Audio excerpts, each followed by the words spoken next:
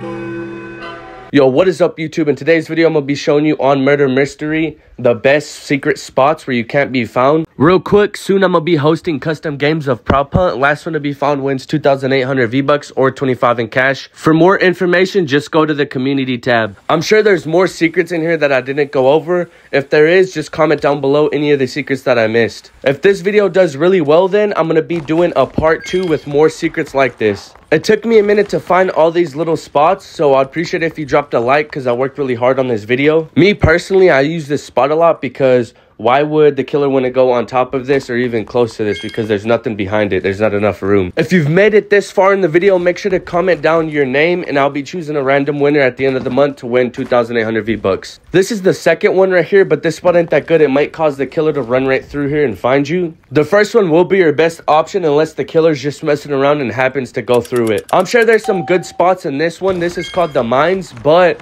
this one is a really cool one. I only found one secret on here, and it's a really good hiding spot. Surprisingly, in the past three games that I've played, I haven't been killed, and I've been inside this little secret spot. I'm surprised the cover hasn't been blown for this secret spot, because I see a lot of people use it. This is very cool. Even if you're the killer, you could just come in here. They're not going to know, and you just drop them right here, and they're never going to know because they're behind the wall. Okay, so this is my last secret. I'm sure there's many more. Like I said, comment them down below. But this one I haven't seen many players do. I forgot the name of this map. But what you want to do is you want to head outside, get on top of this dump truck that I'm about to. And then once you get up here, you're just going to run and jump behind this cloth. That's pretty much it. If you're new to my channel, make sure to hit that like button and subscribe. It helps me out a lot. I post daily Fortnite content. Everyone have a nice day. God bless everyone.